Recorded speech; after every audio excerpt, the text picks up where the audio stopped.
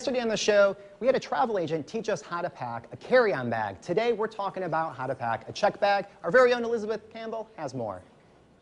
So yesterday, Allison Hardwick with Cruise Planners showed us how to pack a carry-on. But today, you're going to give us a little more freedom and talk about how we can easily and efficiently pack a checked bag. Yes, a checked bag we have more, lots more room. Mm -hmm. We have some flexibility, but mm -hmm. still we have to think about security it, because of the times.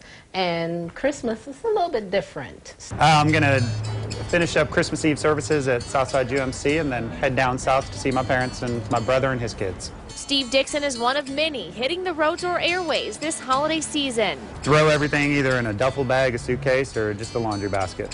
Whether driving or flying, travel agent Allison Hardwick says properly packing a bag is important when traveling, especially if you're checking one at the airport. What we have to, to think about is we only have 50 pounds. Be careful. Do not stuff too much because you can easily go over 50 pounds. Identify marks. We spoke about this with the check with the carry-on, the check bags. It's even more important to have something identifying your bag.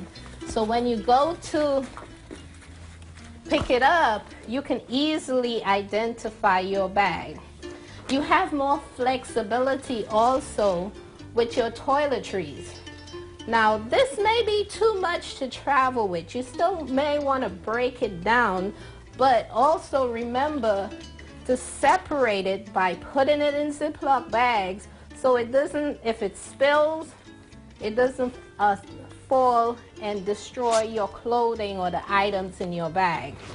The men that are traveling probably need their shavers, their razors and stuff. That cannot go in the carry-on, but it can go in your checked bag. And this is another little toiletry bag that you put all those items in. You close up, you have your name tag. You write your name and address, phone number, and you put it in. In view, and you close it up. You're ready to travel.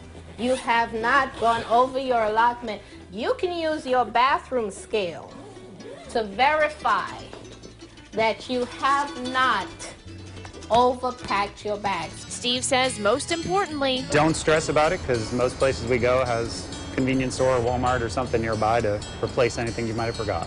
You are good to go. Awesome. And I've got a lot more things packed in here, so I think this time I'm heading to a tropical island. I'm off. Thanks for helping me pack, Allison. Bye. Bye. Merry Christmas.